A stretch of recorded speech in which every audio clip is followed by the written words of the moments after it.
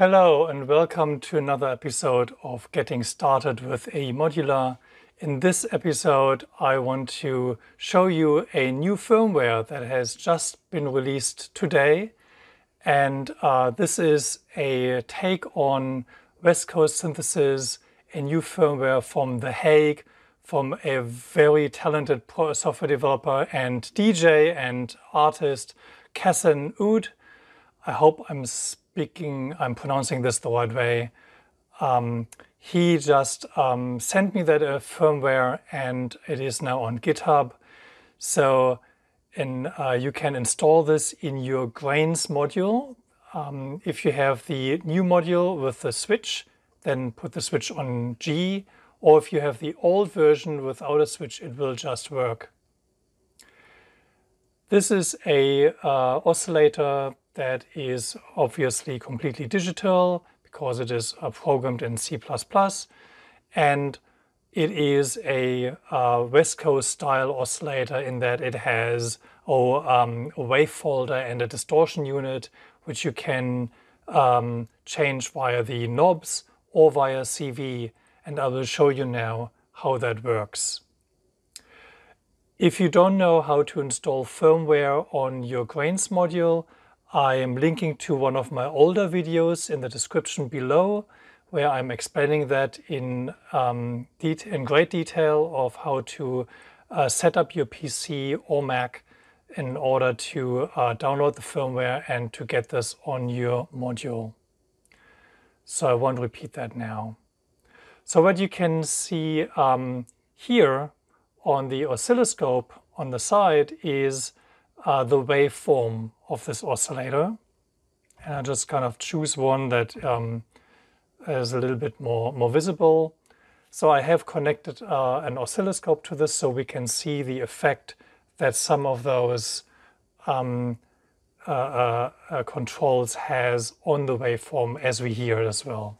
So let's listen to the waveform without the sequencer.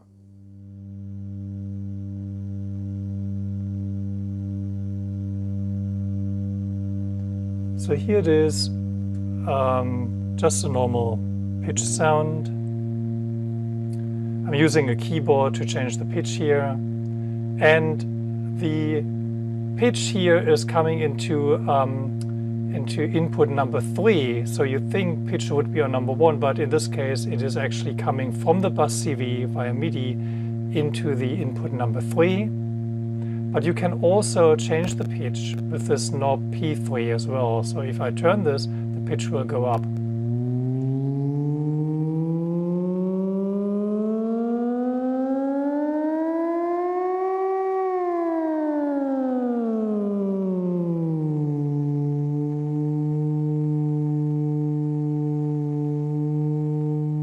Which is the same behavior that you would have on the uh, other oscillators in the AE modular system. So what do these other knobs do? So the second knob, P2, is a wave folder. So let's look at the effect of this a little bit.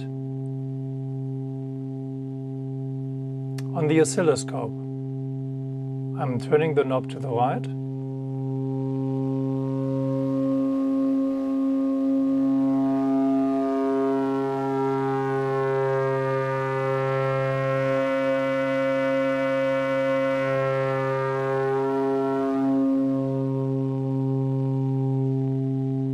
So you can see and hear that this is a um, wave folder type effect.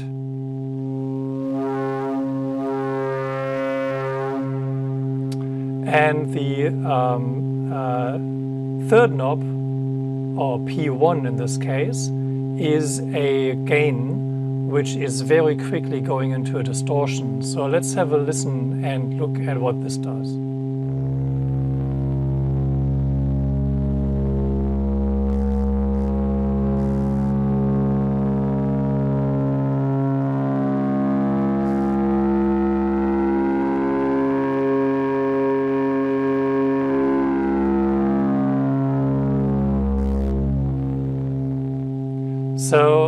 Very similar to the wave folder module that we have.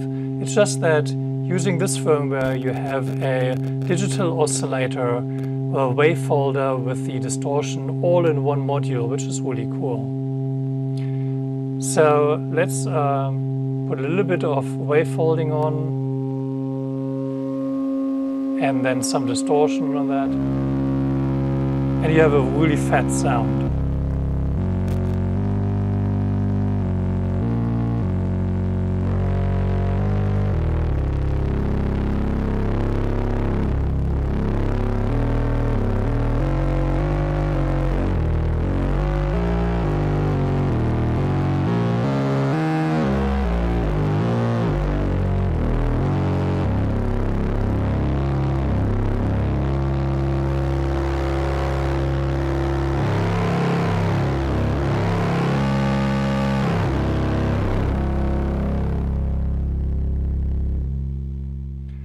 Amazing what uh, massive sounds you can get out of this tiny, tiny little computer that is in the Grains module. So in this patch, let me just zoom out a little. In this patch, I have set up the uh, grains to go into a VCA and the VCA to be controlled by an envelope here, which gets the gate from the MIDI and the output of the VCA then goes into a mixer here at the top, which you can't see. And uh, that way I can run a little sequence on it if I just turn out the constant sound. The oscilloscope actually gets a, another, uh, gets a clean, clear signal from the oscillator, which is not um, showing the sequence that I'm playing now. So let's dial in a few notes in the arpeggiator here.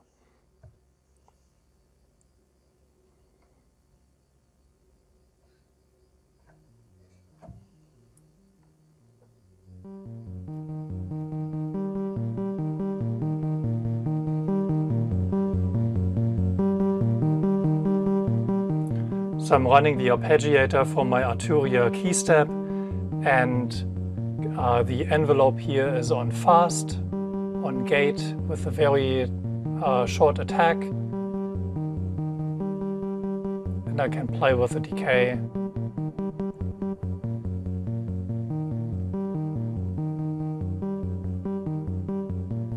So now, the beauty is that I can now change the sounds to be massive.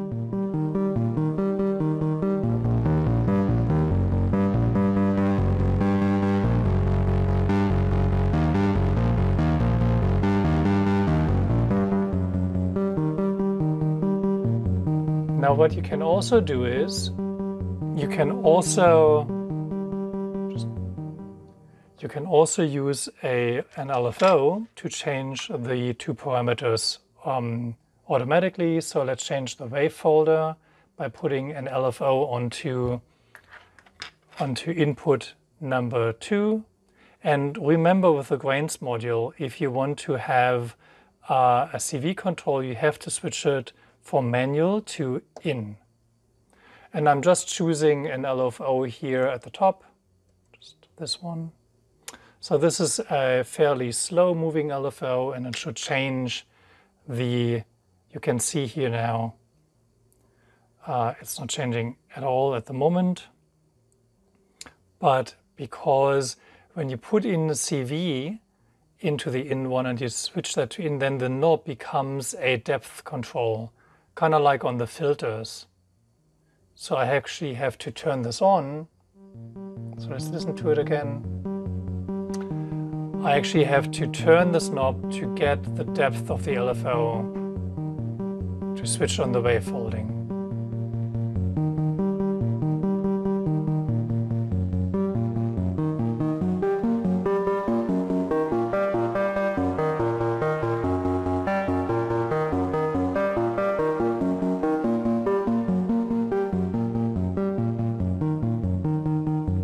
So now you can see that the LFO is affecting the wave folding because I'm turning this knob as well. And the more I turn it, the more, the more pronounced the effect will be.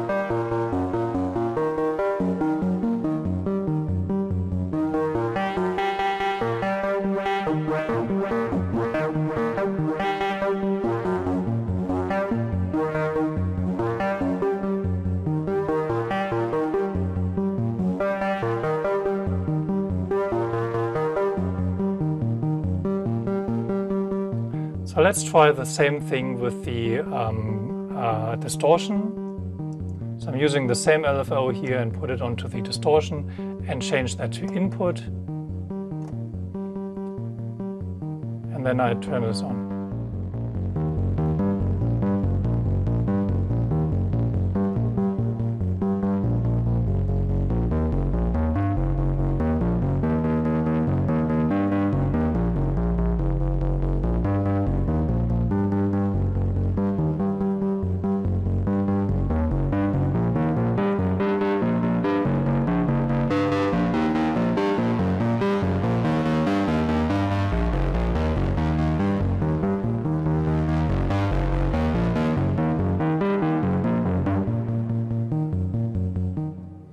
So now I'm using uh, two LFOs by putting another LFO into the input 2, changing that to in, and then choosing uh, another LFO that I have here. And um, then we have uh, both under control from an LFO. So let's have a listen to that.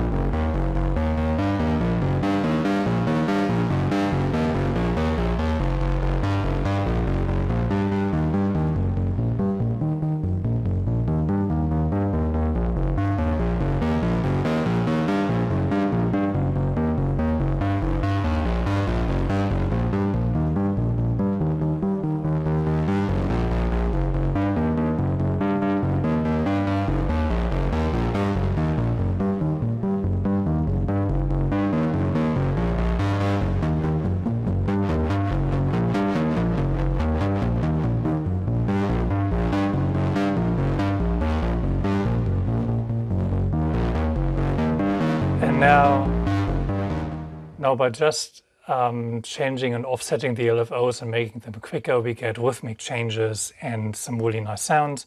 So this is basically the way the wavefolder, uh, the new Scheveningen grains firmware works. It's a West Coast inspired oscillator with a, a built-in wavefolder and um, gain distortion which you can use via the knobs or via CV control. And it is free. You can download it from the AE Modular GitHub website. The link will be in the description below.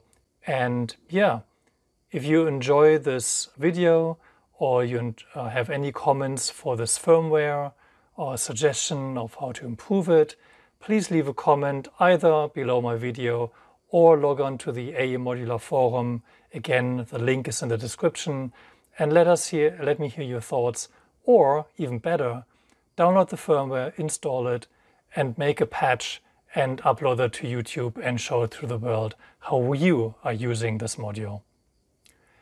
Thank you very much for watching and as always, happy patching.